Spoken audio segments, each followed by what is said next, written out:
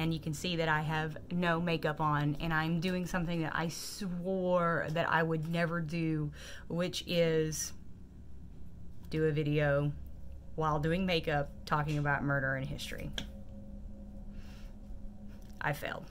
Okay, so first off, just off the top, this is not a, a look that I think you should be wearing out on a day to day basis. Unless it's your thing, feel free to. Um, I'm actually going to be doing a recreation of an 18th century look like this. Um, when you think of the 18th century, I think everybody immediately begins to think about uh, pale skin, and you, one of the biggest challenges for individuals during that time was covering up pockmarks and paint filled those spots in, covered up uh, color issues. I mean, it's the same thing that we have today, right? That we use shellac for or spackle um, primer for and that kind of thing. So, just to give a basis, I have already cleansed my face. My skin is really dry today, so this might go poorly, but uh, I'm going to try it anyways. Uh, I've put on uh, Smashbox's oil based primer just to give my skin a little extra kick uh, of moisture and to make it feel a little better. Now, I want to get into the story, and I'll talk to you a little bit about cosmetics as we go through the story, but let's try for me to do this makeup and talk about the Princess de Lamballe and hopefully not look like a complete goob by the time this is done. I've never done this before. I don't know how this is going to look. So, let's do this together.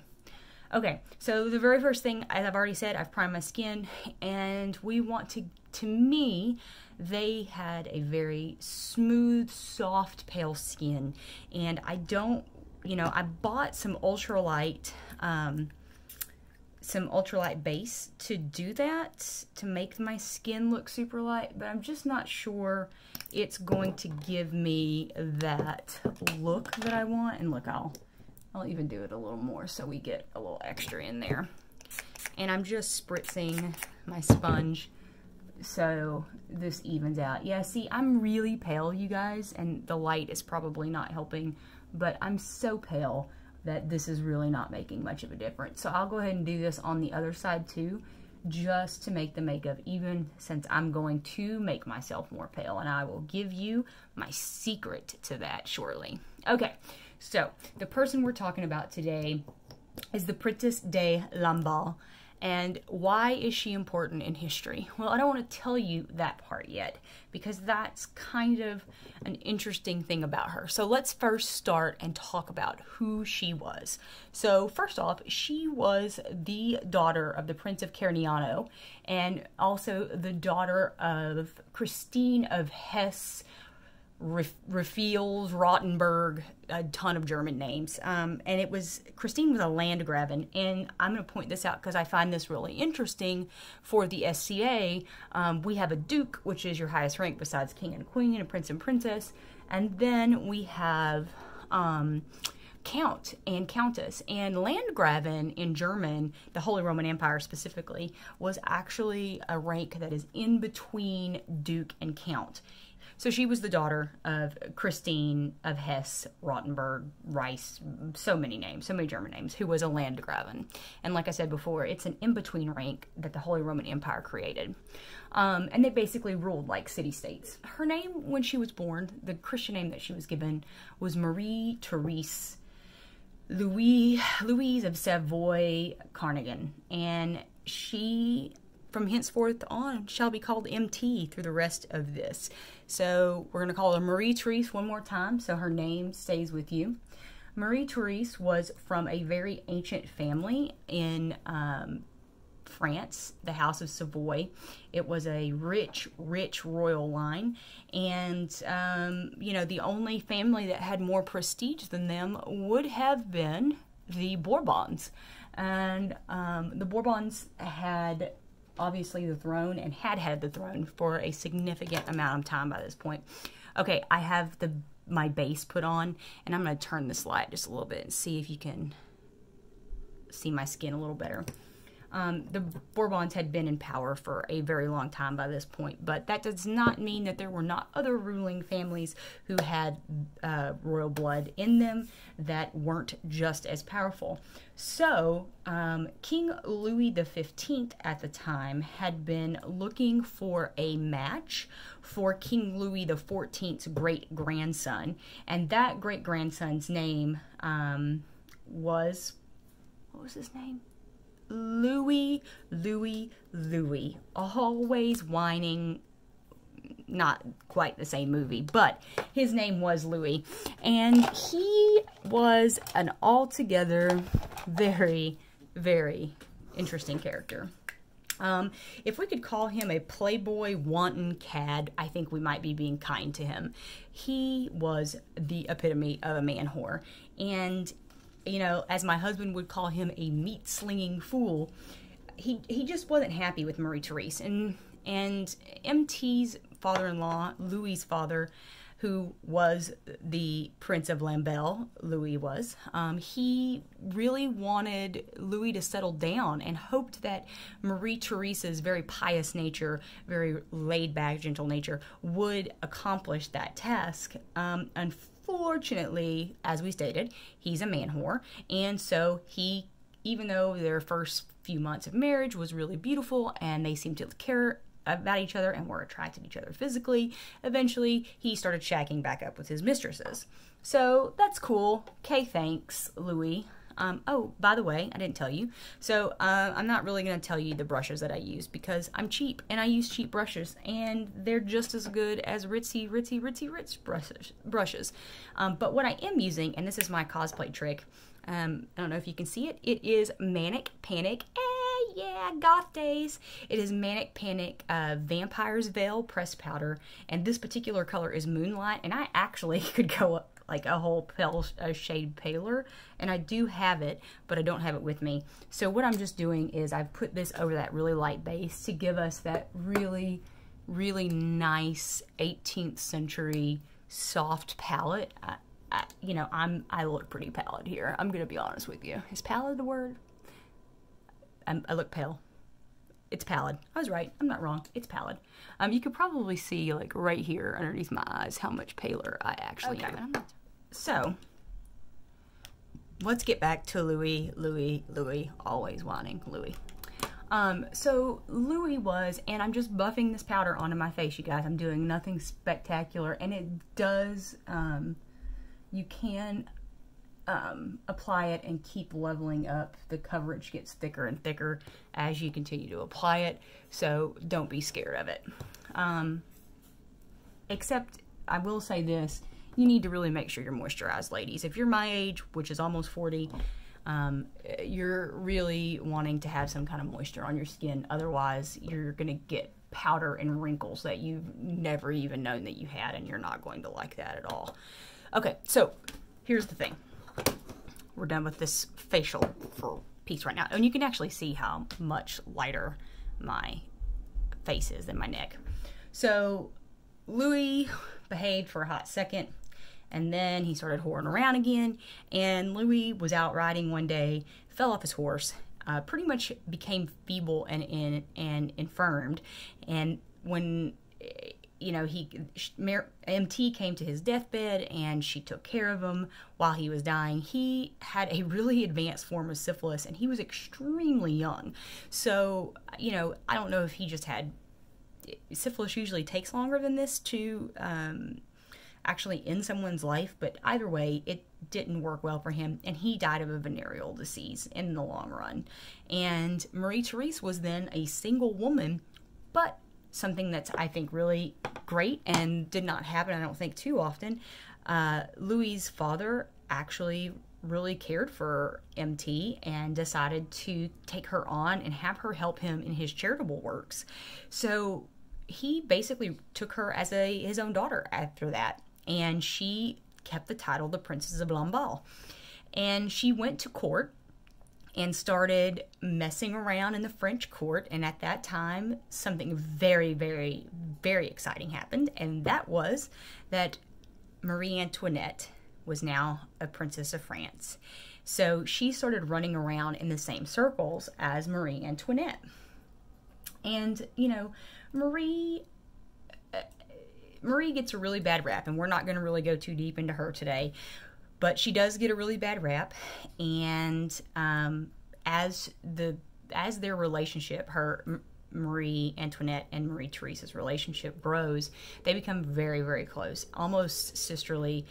Their bond is extraordinarily strong. And then when Marie becomes queen, she gives Marie Therese a very, very important position, which is um, like a bedchamberlain, basically. She was the she would get the, the queen ready every day. She took care of finances, household issues. So she was basically the queen's right hand woman. And that was a very coveted position. And there were plenty of other nobility who in all by all rights probably i don't want to say deserved but had right to that position more than marie therese did and so uh, as the french revolution starts to unfold and the people begin to really hate Marie Antoinette, that also spills over into the Princess Lamballe.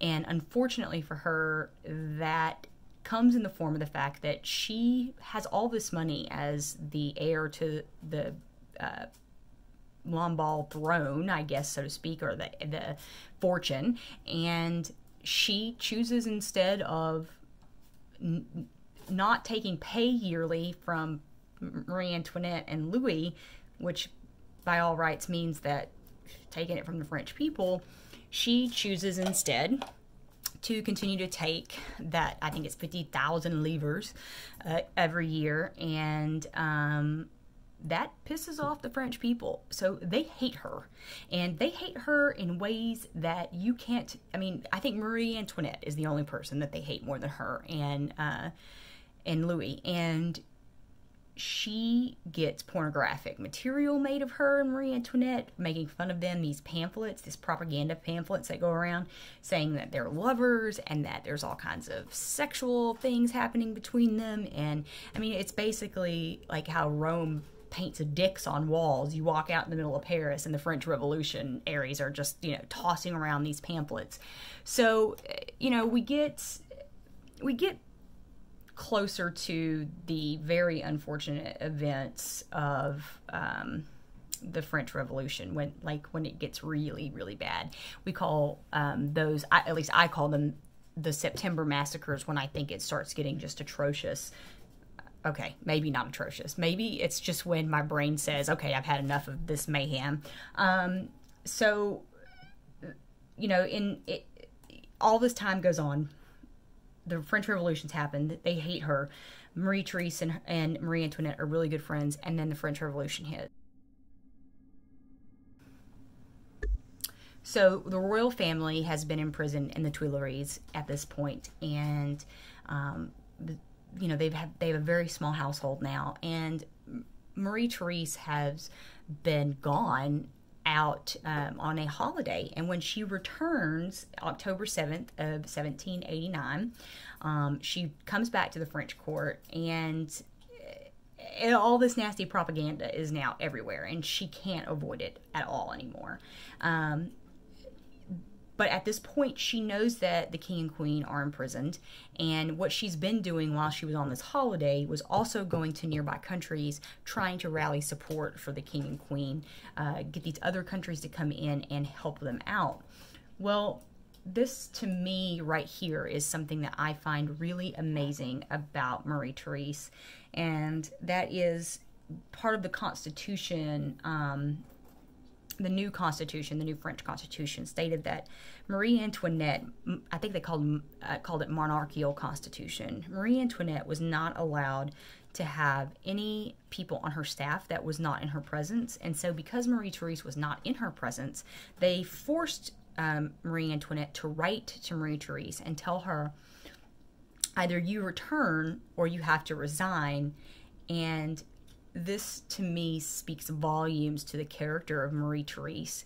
When she got the note, she actually said to the captors of the royal family, I must live and die with her responding to Marie Antoinette. And to me, that was a woman saying, This is my friend. I care about her. I'm going to stick with her and stay by her side. Okay, I'm going to pause talking about this for one second so we can move on.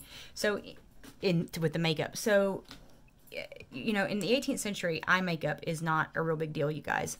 Um, I'm sure there is a little bit, but I don't I don't see it anywhere. You can't really tell in any paintings and portraits. The one thing that you can tell though is that um, there's almost this really dark water line on their upper lid, and so I'm going to attempt to not look like a goob, apply this water line, and continue to tell you about the Princess Lamballe. So, um, at one point, like I said, the Princess Lamballe and Marie Therese our Marie Therese, the Princess Lamballe, and Marie Antoinette, they're still, oh, look, I did some of it.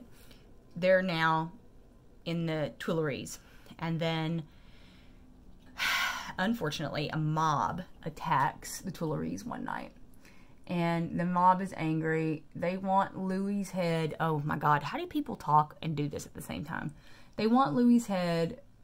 And you know what? Also, all you makeup gurus out there, don't yell at me for holding up my eye. I'm 40 years old. I'm doing the best that I can. Okay, I'm not 40. I'm 38. Sorry, someone's going to say something. Um, anyways, so Marie Antoinette is attacked and Marie Therese actually stands up for her and protects her, takes hits from the angry mob that arrives. And when that happens, um, the French Constitution, constitutionalists, the monarchalists, or how whatever they're called, the revolutionaries, um, damn Robespierre, uh, they decide to move the royal family further into a, another prison, which which is within the Tuileries, called the Temple, and Temple is far more sparse. It's really just not a nice place, and um, you know, they, they say they put her there to save her. Mm, but I think we all know how that story ends. But um, at the time of all of this happening, the French Revolution had these things called the People's Tribunals that would happen. And basically, okay, you can see how I did the waterline. In case anybody doesn't know what a waterline is, that's it's like this under part of your eye. Instead of putting eyeliner down onto this top, you're putting eyeliner up under. Some people just do this number. I can't do that. I try and then I end up poking myself and then I end up getting eyeliner everywhere and it looks awful. So these people's tribunals are basically like monkey trials. I know that like mock trials, and they are awful. I mean, they're just they're trash, and their whole purpose, the only design, is to basically make fun of the individuals that are on trial. They take Marie Therese away from Marie Antoinette and her family, and they put her in La Force prison, which is a prison that is meant for prostitutes for the most part. Um, I want to point out something. This is a really great liquid rouge that is historically inspired and it was created by the Cat House specifically for me. I have not used it yet, so what I'm going to do is do one cheek with this and see how it works and then we'll move on. Um, if it doesn't work well, I'll move and do it on the other one. Um, the in the portraits they sort of did this triangle look and triangle is probably a little too harsh but this sort of curved underneath the whole cheek look. So that's what we're going for right now. It's, I'm to fail it, but we're to try. So here we are. Marie Therese is in this prison, and she's been there for a little while. Two years, in fact, and almost two years. And finally, her tribunal comes, this People's Tribunal. And what they tell her is they call her in and they ask her does she love France? Does she believe in liberty? Does she believe? Oh, look how pretty! Oh, look at this really great color. There's, I think, crushed berries and strawberries in this. Um, it leaves a very, very interesting colorscape on me. So, and I'm gonna go ahead and do it on the other cheek because I actually really like it. Um, They ask her, does she believe in liberty? Does she believe in freedom for France? And she says, yes, of course I do. I, I believe in liberty for people. I believe in um, ensuring people's rights. And then they want her to denounce any love in her heart for kings and queens. And of course, she is close friends with Marie Antoinette and Louis and that family, and she absolutely outright refuses to denounce them. Um, these tribunals were very weird in the way that I say weird, they were very uh, misleading in the way that they would basically, and I'm bringing this down below my cheekbone, you guys, because like I said in the portraits, it's sort of this rounded, almost triangular shape. And some pictures that actually goes way down here. Um, and also, P.S. Court makeup in France, early period, was early period, meaning 17th century, um, 18th century earlier, was very much that sort of lead paint thick. But we're talking about the time period of Princess Lamballe, and that was not this dramatic darkness. They were looking for a more natural look. So this is the more natural version of the super high rouge, super pink uh, cheeks and lips. So, and I actually really like this. Thank you, Cat House, for my gift. Um, uh, so these people tribunals were they were just very misleading in the way that once they made their decision about whether or not you were guilty or innocent, they wouldn't just say you're guilty or you're free. They would they would say we release you. And that release, however, could be to an angry mob of people or possibly free, but I don't think the free part happened too very often. Um, so here she is. She answered the question: life, liberty, love. Yes, I believe in France. Vive la France. She's she's there with them. Yes. And then when they ask her about the king and queen, being a royalist, being a true friend, she absolutely refuses to denounce Marie Antoinette. And in an act and a statement of ultimate sacrifice, she actually uses that word and says, I have made the sacrifice of my life when they ask her, is she sure about her love for the king and queen? All right, before I go on, this is a content warning. This is about to get gross, and I'm going to do my lips, and then we're going to finish this story real quick. And we're going to have, I hope everyone's going to have a very, very awesome Halloween. And this is also um, by the Cat House as well.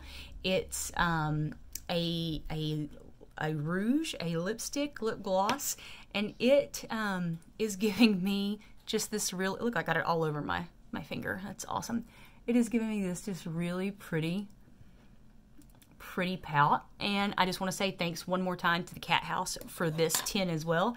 And they accommodated me with no nuts. I am allergic to almonds.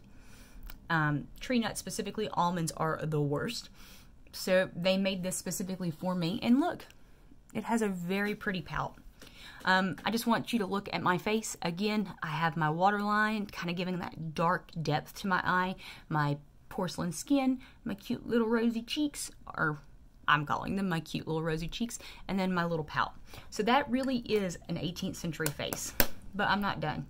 I'm going to put on the wig before we're all said and done. But while we do that, I'm going to talk, finish this story, and I'm going to put eyebrows on while we talk about it. So, we're talking again about MT, Marie Therese. She says, No way, I love these people. I'm not giving them up. And I know that by saying that I won't give them up, I've just given up my life. So that's a real rough call to make. So, this is the content warning part, guys. Things do not end well for Marie Therese. Uh, also in the 18th century, half moon shapes were really, really popular. So I'm going to really kind of soften as much as I can the curve and the arch of my eyebrow out while, while I'm telling you about all this. So Marie Therese did not fare well. I could give you all of the tales of uh, brutality that supposedly happened against her, but there are actual documents. There were people who witnessed things. There were people who saw it, wrote it down, um, and uh, know exactly what happened to her. Um, some people say that she was raped for hours, tortured for hours, but the truth of the matter is, she stepped out into an angry mob and was hit by a pikeman across the head. And it didn't kill her instantly, but it did knock her down, and blood did go everywhere. And we know that because a gentleman recognized her, who was a, a nobleman, was escaping or leaving the scene and went past her and recognized her by her really, really lovely porcelain skin that I hope that I have accomplished tonight myself. And her beautiful blonde curls. So they were very aware of who she was just by looks alone. And she still had on her silks. Um, you know, I'm sure they were dingy, but that's still a far cry better than I imagine what most people had at that time. And so we know, he wrote that down in his diary. He saw that happen to her. And see, again, I'm trying to curb that eyebrow. This eyebrow likes to be super arched because it's Ash's angry brow.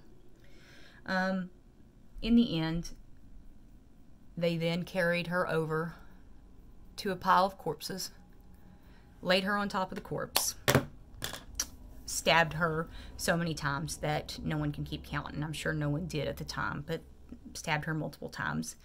They removed her arms and her legs and they severed her head. They disemboweled her and then they proceeded to take all of her limbs, including her head and her bowels, and put them on spikes and parade them across Paris. Now, this is the really just sick part and the part that I find really sad, and it's one of the saddest parts to the story of Marie Antoinette that I know of. Princess Lamballe and her were best friends. That angry mob went to the temple and they carried the head of the Princess Lamballe, Marie Therese. And when they went through town with the head, they passed a hairdresser, and that hairdresser was forced to clean that head up restyle the hair, redo the corpse's makeup. And then that, again, that's in that particular um, uh, hairdresser's diary and notes that and commentary that he wrote afterwards. He stated that happened to him. And he had to do this to a corpse. And of course, the only reason that they did this to this particular corpse was they stuck it on a spike, hoisted it up high, and put it at the window of the temple that Marie Antoinette was sitting inside. They taunted her, they yelled at her, they asked her if she wanted to come kiss the lips of her lover, if they wanted to see, if she wanted to see her one last time before her life was ended. So Marie Antoinette sat inside the temple, probably crying. And this is a piece that uh, I might talk about in the future, but she'd at this point been separated from everyone in her life um, and I do believe her husband had been executed by that point. I need to double check that fact, but I think he had already been executed or was soon to be. So Marie was alone, and I'm sure the taunts were absolutely horrendous. And somehow, somehow, Marie Antoinette managed to not walk to that window and look at her friend. I find that story, that piece of that story, so sad and so creepy in so many ways. But I really admire the spirit of Marie Therese, who stood up, even though she knew she was going to die, even though she knew saying the things that she said was going to kill her. She was a true friend and a true royalist of France. So I hope you guys enjoyed my little makeup tutorial. I'm gonna get better at this, I swear. Not the makeup part, but the story part while I'm doing things, maybe. Or maybe I'll just continue talking when I want to talk since I get sidetracked so easily. Thanks for watching.